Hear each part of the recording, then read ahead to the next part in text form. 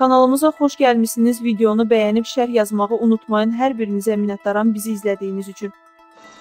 Xəbər verdiyimiz kimi bloger sosial şəbəkələrdə Nikos ayağı kimi tanınan Nicat Şakirli idarə etdiyi Porsche markalı avtomobillə Heydər Əliyev prospektində yük maşınına çırpılıb. Nəticədə avtomobildə olan Nicat Şakirlinin dostu Gəncə şəhər sakini 1996-cı il təvəllüdlü Ruslan Məmmədov ölüb. Sürücü Nicat Şakirli və Fəxri Rüstəmov təbibin tabeliyindəki tibb müəssisələrinə təxliyə olunublar. Oxu24.com RTV-yə istinadən xəbər verir ki, Nikos Ayağının vəfat edən dostu Ruslan Məmmədovla bağlı təsirli paylaşım edilib. Bu barədə görüntülər sosial şəbəkələrdə yayılıb.